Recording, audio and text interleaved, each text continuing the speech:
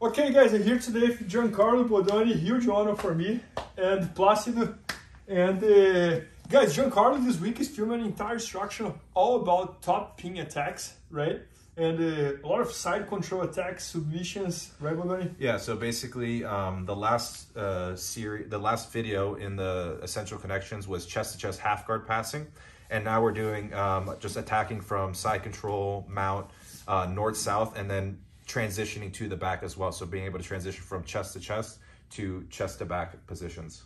Got it. So uh, the move we're gonna show today is the how you set up the arm bar from the side control, right? Yeah, yeah. So um, basically, from side control, the majority um, of the attacks, if we're looking at submissions, are going to come to are going to be based on the far side arm. Okay, and one of the more common techniques that you learn pretty much early on in jiu-jitsu is a far side arm bar, where we come through, we pull our training partner up, and you spin through to the arm here. Okay, so one way that we can set up the far side armbar is that usually your training partner is going to look to have this frame across your uh, across your shoulders and as he goes to push you off with that frame we can use a pass by to punch my training partner's arm across to the opposite side and feed it into this short underhook where I pull the elbow in front of the of the sternum and we end up in this position here and as I go and I start stuffing the head I step over and around the corner and from here we sit through to the far side armbar but the problem with the far side armbar is that we end up in this position here where I don't have a leg across my training partner's torso. And also many times your cross face leg will end up here, okay, on the wrong side of your, of your partner's arm.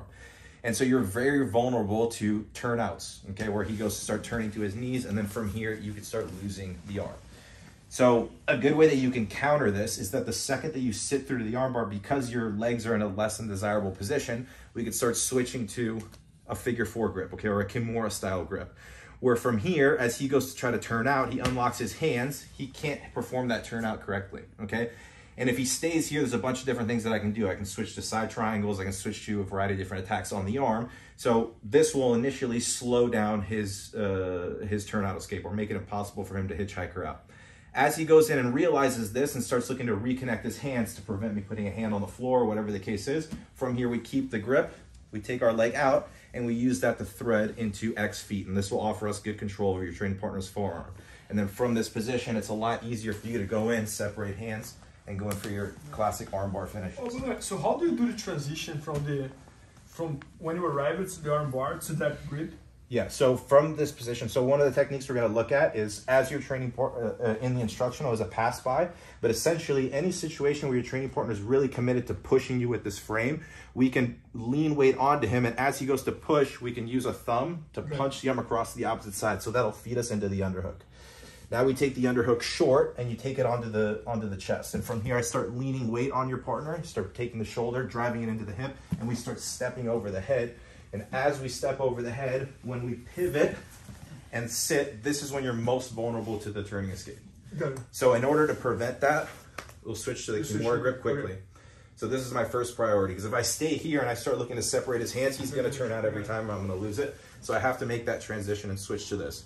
That way, when he goes to turn out, he can't do it. If he stays committed to the turnout, I can switch to other attacks, but most likely he's going to realize that he's not able to turn out the arm is vulnerable and he'll reconnect his hands. And then from there, you can thread through into this position.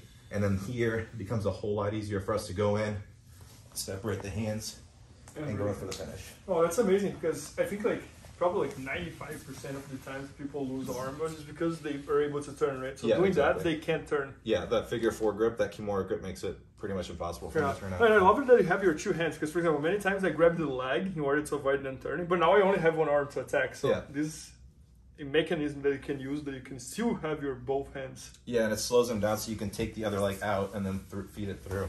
No, that's awesome. Yeah. And uh, and uh, this whole instruction is all about like pin attacks, but not only from side control, right? Yeah. So basically, we'll uh, I'm starting the instruction the instructional in side control, and then we'll look at like maintaining side control, side control attacks.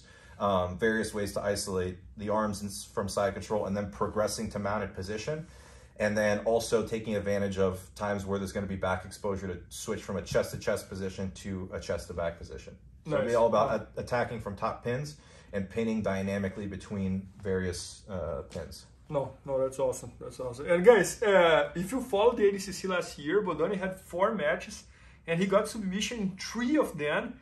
And the only match that he didn't get a submission, he finished the match with the rear neck choke uh, locked. And uh, has anybody ever won the ADCC division with all submissions on every match? I think you I think uh, Kade won actually this year. Yeah, all submissions four on every match. on yeah. matches, yeah. So, anyways, but you were very, very, Very very, close, close, to, to achieve that as well. yeah. So, guys, uh, if you're looking for to improve your submissions and attacks from pin positions, this is definitely a guy to learn from. And uh, make sure to check it out. It's gonna be at bjjfanatics.com, and maybe by the time you're watching, it's already there. So, thanks so much, Bodoni. Thank you. Thank you, Plácido. Os. Please help me out to grow my YouTube channel. Just click subscribe. And to watch more videos, just click under see more videos. I hope you enjoyed. BJJFanatics.com. Use the promo code YouTubeFaria to get 10% off any instructional video. Improve your jiu-jitsu faster.